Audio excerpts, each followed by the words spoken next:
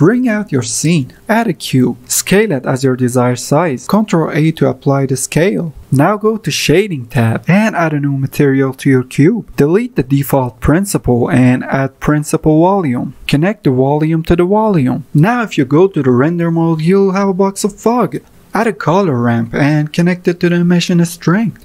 Then add a noise texture and connect the fact to the fact. Now add mapping and texture coordinates like we always do. Now connect the object to the vector, then vector to the vector.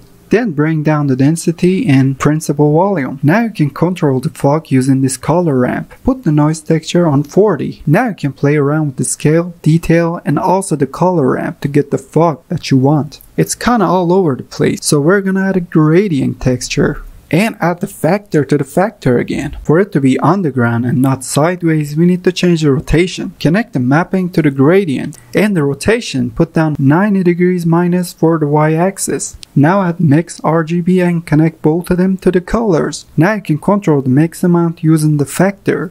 Just f around with the settings alright. You can also change the fog color by changing the emission color. Bring out the top side of the menu to bring out the new menu and put it on timeline go to the first frame. Then bring your mouse to the location and press I to make a keyframe.